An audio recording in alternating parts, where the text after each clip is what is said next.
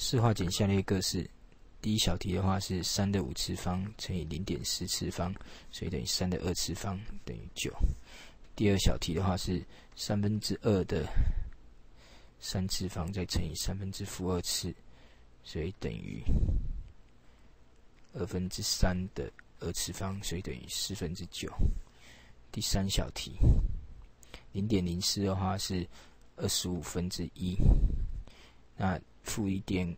五的话是负的二分之三次方，所以等于五的负二次方乘以二分之负三次方，所以就等于五的三次方等于一百二十五。